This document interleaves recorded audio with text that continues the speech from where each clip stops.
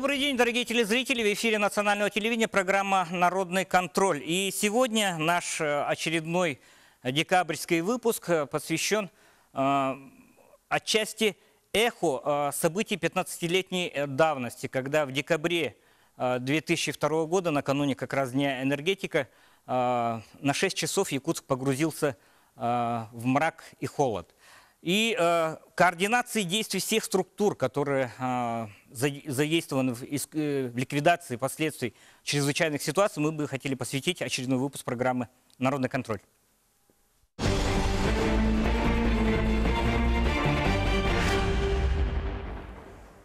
И для начала, чтобы задать э, некий такой э, эмоциональный тон, я бы э, очень рад, что э, наш земляк, наш э, очень известный земляк, лауреат премии «Национальный бестселлер», писатель Андрей Геласимов присоединился к нам. Э, Его перу принадлежит роман «Холод», в котором описывается, скажем, переживание якутянина, который испытал вот, эти вот, вот это вот состояние, когда на 6 часов, повторяюсь, центр Якутии был обесточен. Андрей, вы на связи, здравствуйте. Спасибо за то, что приняли наше приглашение. Я бы хотел, чтобы вы мини такое эссе сделали, минуты на полторы-две, которое задаст вот такой тон. А, Что бы вы пожелали якутянам, которые постоянно находятся в э, такой зоне риска? Ну, землякам я бы, конечно, пожелал, чтобы все было хорошо и вся техника работала отлично, и чтобы все э, необходимые службы, которые заняты этим, и МЧС, и энергетики, и связь, чтобы все это, конечно, э, работало координированно на защиту э, населения Якутска, потому что, конечно, очень хрупкая ситуация, место, в котором э, э, находится Якутия, оно такое, как, ну, как космос. Я ведь 25 лет там прожил. И прекрасно помню, что такое зимний холод. И ощущение, которое меня однажды охватило, вот это было даже до той аварии ужасной 2002 года. Однажды я вдруг э, представил себе, что будет, если вот, э, ну, вот случится такой коллапс, да? То есть, ну, это и ужас, который я испытал, потому что ощущение космоса, ощущение космической станции и выхода из нее в открытый космос, это ощущение, собственно говоря, и подтолкнуло меня к началу работы над романом «Холод». А потом, когда вот, значит, рассказывали мне уже свидетели этих событий, я собирал весь этот материал. Но самое главное, конечно, чтобы э, человеческий фактор здесь играл э, позитивную роль, а не негативную, как это бывает чтобы люди работали сообща, чтобы в такой ситуации, не дай бог, да, она повторится, чтобы в такой ситуации не возникало прежде всего паники, чтобы все было скоординировано. Ну и действия э, энергетиков тогда, 15 лет назад, показали, что, в общем, э, в любом случае, даже к непредвиденным обстоятельствам, они оказались готовы, и город э, был спасен от вымораживания, за что им огромное спасибо и низкий поклон. Спасибо, спасибо, Андрей. Спасибо за такое э, хорошее начало нашей программы. Э, все, наверное, помнят события 15-летней давности, да? И я, Николай Никифорович, все-таки у нас э, чрезвычайная ситуация в пределах Якутска, центральной Якутии, да? Они так или иначе на 100% связаны э, со сферой энергетики. Согласны с этим, да? Да, согласен абсолютно. Да. Вот э, какие действия э, предпринимаются, ну, как вообще руководство республики э, выделяет вот значимость э, сектора энергетики, вот как раз в области жизнеобеспечения? Но в первую, надежность, э, в первую очередь это должно э, быть надежность. Да? То есть все очень важные объекты э, должны иметь несколько источников питания. Вот у нас э, до недавнего времени город Якутск обеспечился только одним источником питания, это Якутская ГРЭС-1. Вот. После этого, э, после, вот, кстати, событий 15-летней давности, очень, сильно, очень сильный фактор да, послужил тому, чтобы построить Якутскую ГРЭС-2. То есть на данный момент у нас два источника питания. Но этого тоже мало. Поэтому э, руководством было принято решение э, правительства Российской Федерации да, строить еще и линию. То есть у нас сейчас на данный момент линия э, из юга, она подошла. Осталось сделать только заходы, это мы в следующем или через год уже их запустим. То есть у нас будет на данный момент три источника питания. Три источника питания – это увеличенная надежность. Вот. Вот до этого, когда мы работали только на Якутской ГРЭС-1, а, наш регион, он э, в классификации Министерства энергетики состоит как регион с высоким риском прохождения осенне-зимнего периода. Это очень э, так очень тонко все. И вот э, спасибо коллективу и руководству энергетиков, которые держат эту станцию. Они уже там все знают, где у них до мелочей. Но оборудование, видите, очень старое. Эти турбины, они уже по третий, по третий срок уже используются. Поэтому это железо, оно все равно ломается. Поэтому вот, э, произошла такая ситуация, как 1 октября нынешнего года. Мгм. Ну, э, случилось и 2 октября, когда, э, видимо, э, усилия энергетиков по переключению на как раз на мощности э, ГРЭС-2 вызвали э, второй маленький, скажем так, блэкаут, который, ну, слава богу, все пережили. Да? Я особое э, значение хочу, э, спас- отдельное спасибо хочу передать э, пресс-службе э, Якутскэнерго вот за то, что э, устраивает э, ну, режим оповещения. Да? Вот ведутся работы по плановому переключению э, мощностей с ГРЭС-2, ну, с ГРЭС-1 на ГРЭС-2, да, и, э, соответственно, идут какие-то вот веерные отключения плановые, и очень хорошо налажена система оповещений по различным каналам, будь то там а, а, какие-то сайты информационные, а, э, телеграм-каналы, а, мессенджеры и так далее. То есть а, отдельное спасибо коллеге и э, значимость вот этих э, мероприятий, как раз м, оповещения населения, да, я бы хотел подчеркнуть еще раз, как, как, как просто как житель города. Это меньше способствует панике. Да? И на самом деле вот этот сегодняшний наш разговор инициировали э, связисты, которые оценили. Э, я бы хотел э, включить сейчас такую маленькую видеоподборку. Режиссера попрошу включить. События, вот, которые произошли 1 и 2 октября на Якутской ГРЭС, они ну, особо такой тревоги, понятно, что температурный режим был другой, да, и так далее, и так далее. Событ- отличался градус, скажем так, э, что было в декабре 2002 года от- и октябре. Но особое значение было то, что а, осталась э, система оповещения. Руководство республики, да, города выходило на прямую связь, делало оценки от того, что произошло. А, Делала свои обращения гражданам, да, чтобы а, не возникало паники, не возникало каких-либо а, ситуаций, когда а, усилия тех же энергетиков могли восприняться ну, неоднозначно, скажем так. И э, еще раз э, спасибо связистам, которые инициировали вот это. Я бы хотел все-таки, каково, каково значение средств связи, средств каналов связи. Я понимаю, что есть невидимые каналы для обычных, скажем, людей, да, которые помогают. Вот какие меры принимаются д- для обеспечения бесперебойной связи в первую очередь? Во-первых, э, все операторы связи, э, которые предоставляют услуги телекоммуникаций, должны обеспечить по приказу Минкомсвязи России бесперебойность работы э, узлов связи в теч- в течение 4 часов. Но это тот минимум, который прописан непосредственно по законодательству. На самом деле наши операторы пошли дальше, и в принципе при такой ситуации, которая произошла в Якутске, они были обеспечены практически а, э, топливом э, а, для работы дизель-генераторов в течение дву- двух суток. Вот. Естественно, что где-то э, станции работали от аккумуляторных батарей, они тоже справились со своей работой.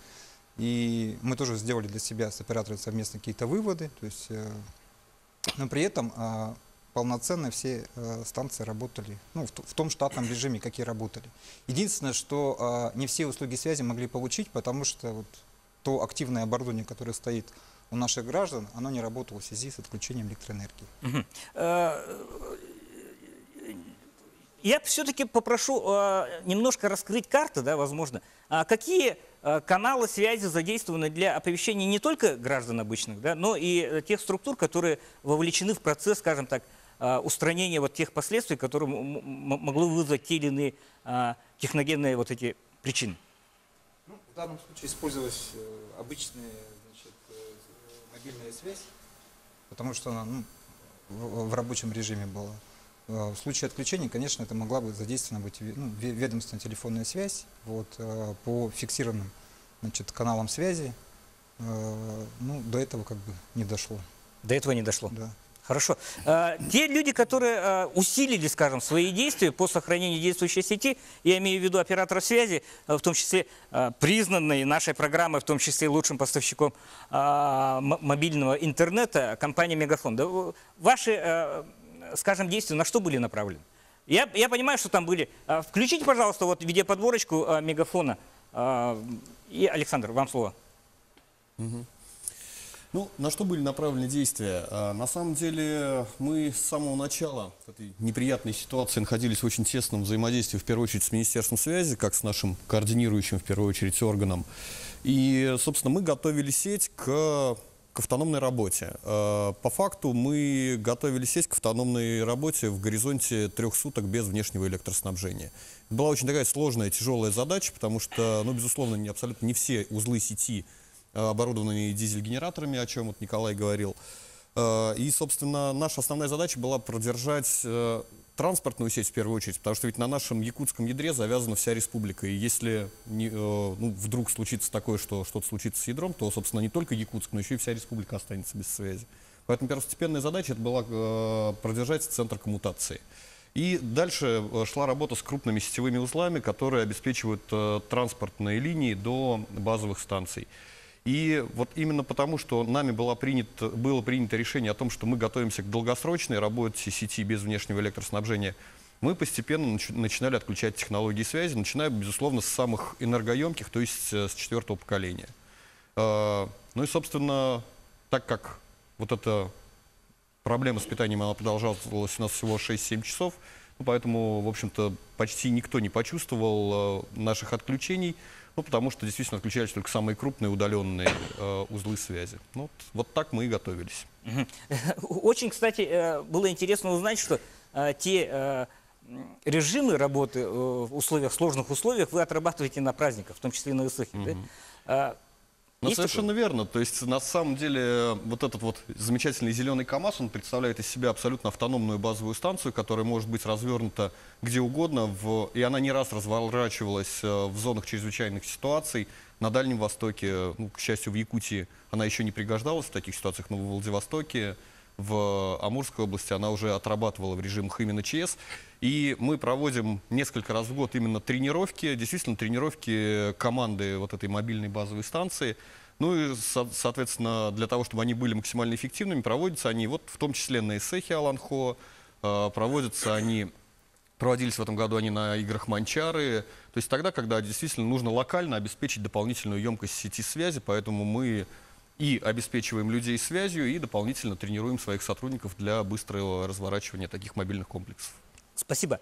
Николай Александрович, все-таки, вы помните же события ду- ду- 2002 года? А, Тогда жизнь облегчалась а, а, одним очень фактом. Вот связисты подсказали, да? Наличием вот такой вот квадратной розеточки, да? Давайте вот ваши, не то что воспоминания, а ваши предположения. Вот, каково значение оповещения населения в условиях, вот, когда паника вот-вот грядет? Ну, оповещение населения, я считаю, это одним из самых главных факторов. Но здесь необходимо обратить внимание на то, что прежде чем оповещать население, кто-то должен принять решение, что необходимо оповещать население. Первое. Второе. Кто должен оповещать население? То есть э, в- в- вот именно в этих моментах нужно разобраться принципиально. Вот смотрите, произошла авария на Якутской ГРЭС. Так, да? Второе. В это время находилась там дежурная смена, ну, будем говорить, дежурный диспетчер. На него легла очень огромная задача. Он должен выявить, в чем причина аварии, дать указания на устранение, поднять силы и средства. И кроме этого еще оповестить взаимодействующие структуры, тех, кого он обеспечивает, или тех, от кого получает энергии на, энергию на выработку электроэнергии. Допустим, нас, газовиков. Потому что что такое? Идет большое потребление газа, и здесь раз, газ прекратился. Куда девать этот газ? Или вот произошла авария, хлопок, давление газа сразу упало. Что случилось? Мы не знаем, что случилось. Простой обыватель, пропал свет. У нас в городе Якутске находится только 150 котельных, которые обеспечивают теплом объекты и также самый жилой сектор. Они тоже должны получить информацию. От кого они должны получить информацию? Что такое? Газ есть, правильно, да? Котел работает, но света нету. Значит, двигатель, который гоняет воду, остановился. Значит, вода в системе что? Замерзнет. Это временное отключение, постоянное, или на сколько времени это отключение. Но действительно, после 2002 года была проделана очень большая работа. На всех этих объектах все-таки установили резервные источники питания. Но люди должны, и руководители объектов должны знать, когда их запускать, на сколько времени. Ну, в процессе, если так смотреть, в принципе, причина аварии что предыдущего, что этой аварии практически, можно сказать, одна и та же причина. Это не сработала техника, будем так говорить. Но по времени ликвидация ее, как вы видите, произошла намного быстрее. То есть, очевидно, опыт есть, но, конечно, и недостатки есть. Александр и да, а- недостатки в управлении. Вот я хочу сказать, что самый главный вывод был по той аварии, чтобы обеспечить прямой связью всех дежурных диспетчеров, которые принимают решения на первом этапе, когда нет руководства и когда случилась авария. Это дежурный диспетчер Якутскэнерго, это дежурный диспетчер Сахатранснефтегаз, это дежурный диспетчер Теплоэнергия, это дежурный диспетчер водоканала, это обязательно ЕДДС города Якутска, обязательно МЧС. Вот эти все силы оперативные дежурные, дежурные смены, на первом этапе они вырабатывают решение, которое нужно принять, чтобы моментально или как можно быстрее локализовать эту аварию и это решение доложить уже руководству. И в этот момент никто дежурным не должен мешать. Никакая сотовая связь, никакие телефоны не, не должны звонить, кроме вот именно действия вот этой связи. Еще одна связь может быть с главным инженером и с начальником, ну, с генеральным директором. Э, В компании, э, которой вы, я знаю, что вы э, очень много времени отдали службе в органах МЧС. МЧС, да. В той компании, которая тоже связана, скажем так, со стратегическими э, поставками, да, насколько, как вы считаете, э, хорошо поставлена вот эта работа, э, координация действий, э, ликвидации вот и всего прочего? Сахатранснефтегазе, я имею в виду. Ну, я, я скажу, что данная работа в Сахатранснефтегазе организована на достаточно хорошем уровне. Это, это можно даже сравнить с- тем, да, вот примести- привести такой пример, что в настоящее время компания эксплуатирует 6500 километров а, газопровода, из которых 2500 – это магистральный газопровод и 3600 километров – это поселковые различные сети. Причем где-то порядка 40% это, значит, уже выработали срок свой. То есть газ, Якутская газовая транспортная система была введена в эксплуатацию в 1967 году. Вот считайте, 50 лет. Срок, изно- срок где-то 30, максимум 40 лет. Мы уже за 50 лет перешли. Ну и 2000-е годы, знаете, когда никакого финансирования не было, что потеряли очень большой промежуток времени, что очень много не, не удалось сделать. Но вы случись что, дадите, э, даете гарантию того, что будет предпринято все, что в э, ваших силах э, и ваших ресурсах имеется, чтобы минимизировать? Знаете, Дмитрий, я отвечу на вас во- вопрос так. У нас постоянно что-то случается. И постоянно ездят бригады, постоянно ремонтируют, постоянно обслуживают, постоянно находятся все в, дежурном, так, э, в дежурной работе, будем так говорить. Это такая служба. Давайте сразу после рекламной паузы мы вернемся к э, обсуждению тех действий, которые должны предпринимать все органы для того, чтобы э, минимизировать, скажем так, последствия чрезвычайных ситуаций. Увидимся.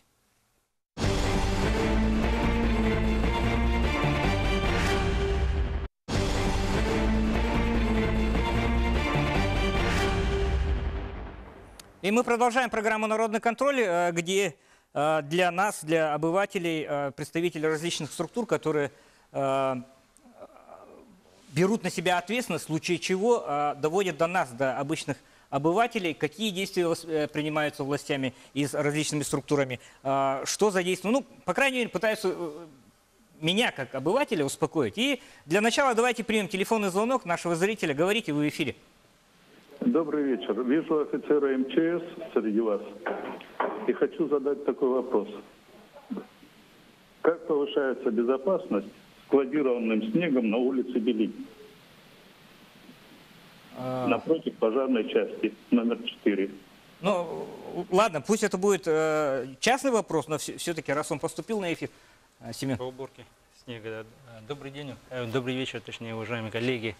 Ну, уборка снега у нас э, осуществляется, э, здесь привлекается у нас э, якутское звено территориальной по системе. То есть э, единый организм у нас в соответствии с э, постановлением правительства Республики Саха-Якутия 393 э, создана у нас единая система предупреждения ликвидации чрезвычайной ситуации. На самом деле э, не только э, Главное управление МЧС России по Республике Саха-Якутия во всех этих авариях и так далее задействовано. Получается, здесь мы привлекаем и энергетиков, и э, организации ЖКХ, и связистов, и э, другие отдельные организации, которые входят в состав Якутской территориальной по системе РСЧС. По этому вопросу ну, необходимо надо это самое оповестить, конечно, э, э, ЕДДС города Якутска, обязательно оповестит Центр управления кризисных ситуаций, Главное управление МЧС России по Республике Саха-Якутия. Данный вопрос, я думаю, что возьмут на контроль и этот э, будет решен в соотве- в соответствии с действующим законодательством и руководящими документами. Э, Семен, все-таки люди начинают вот уже привыкать да, к СМС-оповещениям, которые э, идут от МЧС, да, э, оповещения о, о тех или иных э, чрезвычайных ситуациях локального масштаба, там, более глобального и так далее, и так далее. Вот, вот эта работа э, вашим э, управлением э, на каком уровне сейчас проводится? Вот что хотелось бы. Да, совершенно правильно. Дело в том, что в соответствии с э, действующим законодательством органом повседневного управления у нас э, в республике является Центр управления кризисных ситуаций Главное управление МЧС России по республике Саха-Якутия. Э, Данное наше э, подведомственное нашем Главном управлении учреждение э, заключены договора соответствующие, в том числе и с операторами сотовой связи. В настоящее время у нас по регламенту есть э, э, договора с э, сотовым оператором Мегафон, как вот предыдущие наши коллеги с, с Мегафона отмечали, а также с сотовым оператором Вилая. И вот по, по поступлению каких-нибудь происшествий, там, чрезвычайных ситуаций или либо других инцидентов, которые вот, имеют такой социальный резонанс, конечно, принимается дежур, старшим оперативным дежурным СУКС принимается решение по э, проведению оповещения. То есть э, в соответствии с нашим э, соглашением с сотовыми операторами направляются соответствующие текстовые сообщения и в автоматическом варианте тех или иных районах или по всей республике данное оповещение, смс-рассылка точнее идет. Мгм. Ну, судя по опыту передовых стран, вообще люди э, привыкают к таким вещам, да, потому что государство бдит, государство следит, государство на готове, скажем так, решать те или иные э, кризисные ситуации. Э, Дмитрий Николаевич, целый государственный комитет по э, обеспечению безопасности жизнедеятельности населения э, вы представляете. Э, Ваше видение на проблему, на постановку вопроса. Вот как должны координироваться действия всех структур, которые э, задействованы, скажем так, в ликвидации чрезвычайной ситуации? Ну вот, э, Александр Николаевич, э, мы, э, Александр Николаевич стоял у истоков вообще этой системы, системы предупреждения ликвидации ЧС вообще по, по всей стране, если так глобально да, говорить. 2002 год, вспоминая, вот э, это только э, создание структуры э, территориальной топосистемы, принятие новых нормативно-правовых актов, алгоритмов, положений. И с того периода вот, э, я соглашусь со словами Александра Ник- Николаевича о том, что проведена очень большая работа. Семен остановился о том, что э, во- вообще по системе реагирования у нас есть вертикаль, есть горизонталь. На региональном уровне орган повседневного управления – это Центр управления в кризисных ситуациях.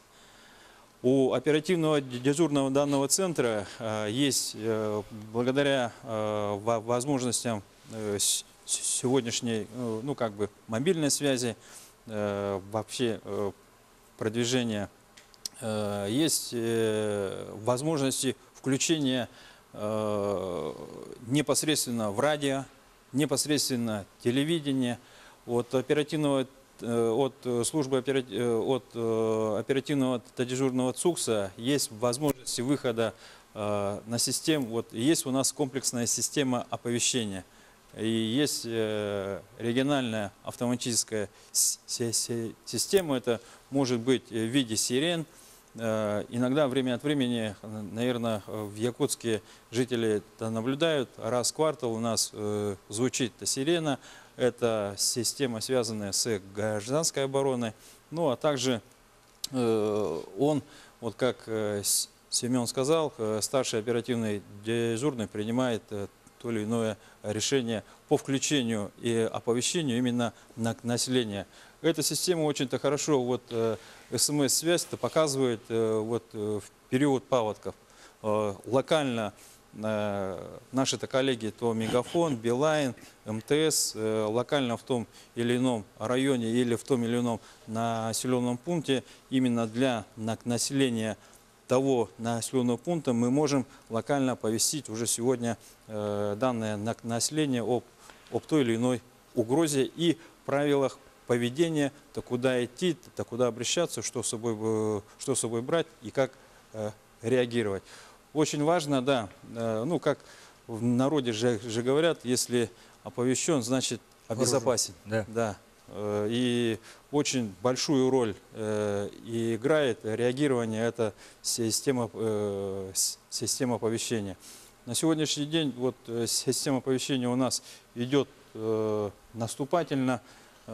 Данные системы у нас идут уже развернуты практически вся республика уже завязана.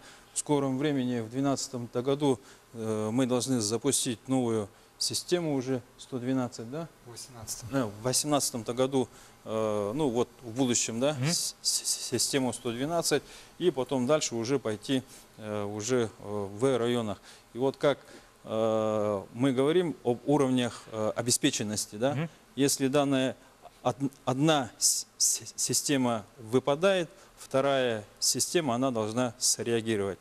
Э, Уходит свет, мы подключаем э, резервные источники это питания, подключается мобильная связь, э, смс-сообщения или радио, э, мы, мы, мы подключаемся, ну или в телевидение. А так, я думаю о том, что оперативные службы Якутского гарнизона, вот именно на данную ава- аварию, та, которая в октябре произошла, они сработали все в соответствии с планами, в соответствии с э, алгоритмами.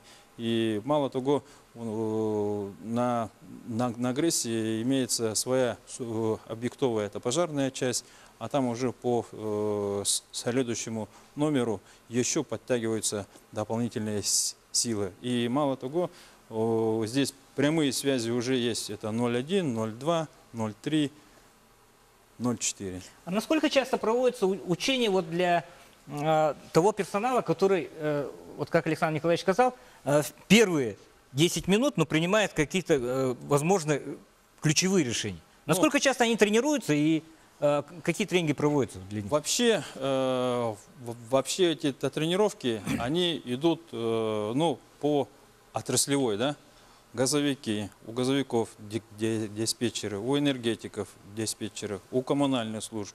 Э, Будет уже с 2018 года, если си- система, э, в этой системе 112 есть тоже ди- диспетчеры.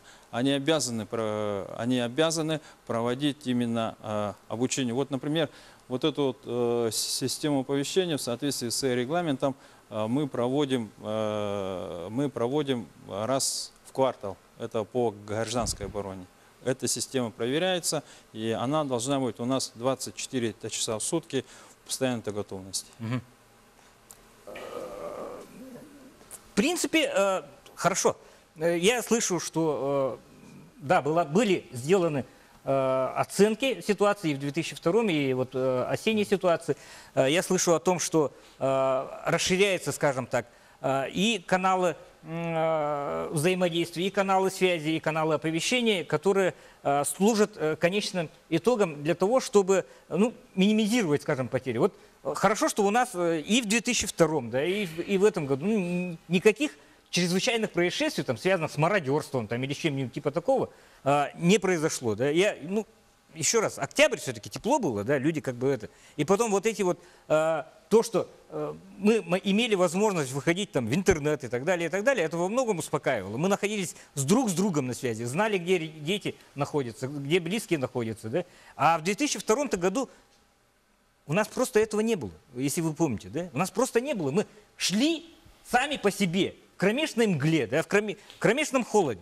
И э, на самом деле предложение, вот, Николай Викторович, по проводному радио, да, тут э, еще один хороший, считай, бесплатный канал оповещения. же, Да? Не, на Вот- самом деле, в 2002 году вот, э, фик- я тогда работал в Сахателекоме, Мгм. и фиксированная телефонная связь работала, потому что э, э, каналы питались именно от станции, которая была подключена к резервному вот, э, питанию. Ну, до телефона дойти надо. Но было. тогда еще, ну, Да. связь была.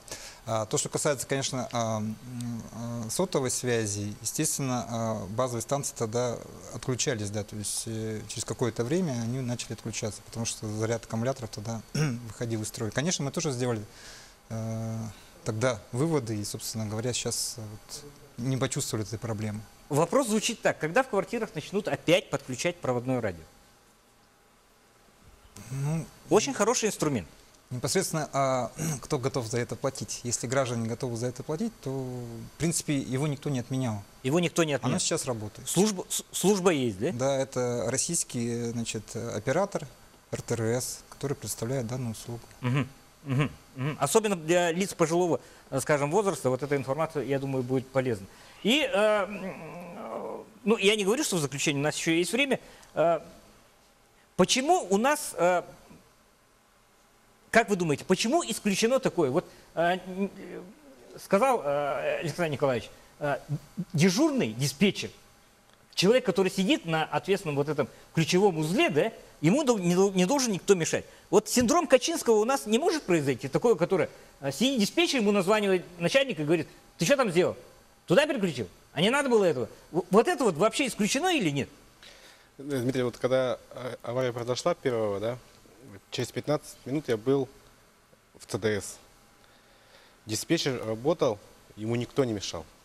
Даже приходил генеральный директор, он стоял сбоку и смотрел, потому что у него есть четкие инструкции, у него есть задача э, как можно быстрее подключить электричество. Но осложнялось все это чем?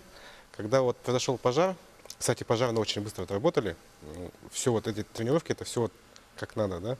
Когда потушили, проблема была в том, что диспетчер не знал, какое оборудование выжило. Вот это вот было самое страшное. И когда вот ему говорят, что там э, дым, мы там не видим, что там, что целое, что не целое, э, вот он не знал, он не мог принять решение. Я вот лично это наблюдал. И когда ему сказали, э, там вот, э, оборудование целое, он дал команду, значит, запускаем первую турбину. Там какой-то свет пошел. Сразу электричество дали водоканал, чтобы вода пришла. Вот. И постепенно, постепенно начали набирать, они запустили станцию.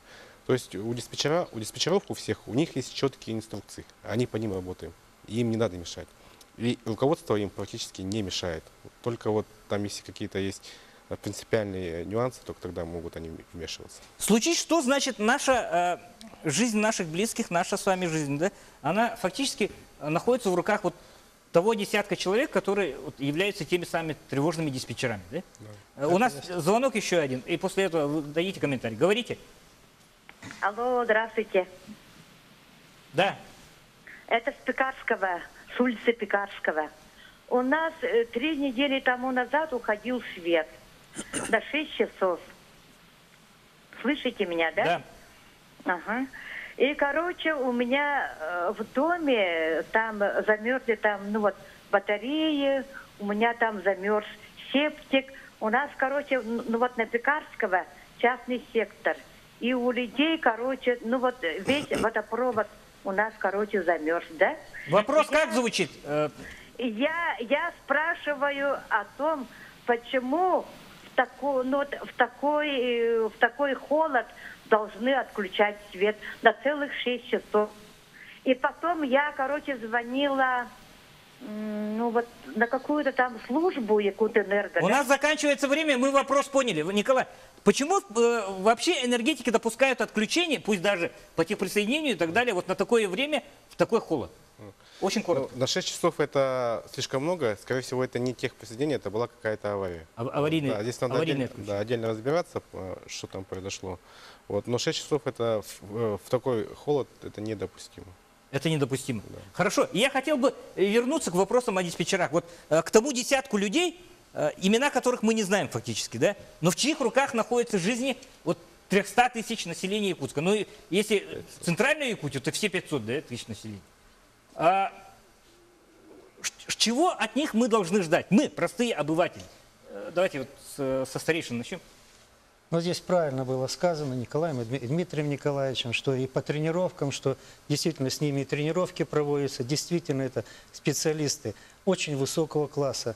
Чтобы найти такого диспетчера, он проходит значит, довольно долгое обучение, стажировку.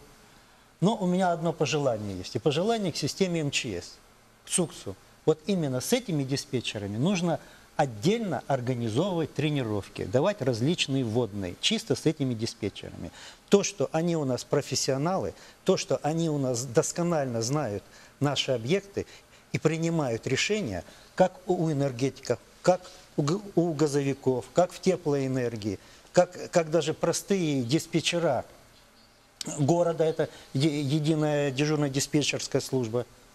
Ну, с ними надо чаще проводить тренировки. Я, думаю, что а, э, действующее руководство тех структур, которые а, отвечают за жизнеобеспечение нашего, нашего региона, они все-таки прислушиваются к мнению ветерана служб МЧС. И а, в заключение я хотел бы сказать, все-таки нам, простым обывателям, видно очень мало. Да? У нас зрение вот такое вот, мы зашорены немножко вот такими, а, возможно, стереотипами и так далее. На самом деле, когда возникает та или иная ситуация, не дай бог возникнет, да, этой зимой, а, включаются огромные механизмы, огромные механизмы, в которых задействовано гигантское количество структур, гигантское количество сотрудников, людей, которые обеспечивают нашу с вами безопасность, в том числе и связь, и электричество, и бесперебойную а, подачу а, энергоносителей. И э, увидимся, увидимся в следующем выпуске программы «Народный контроль».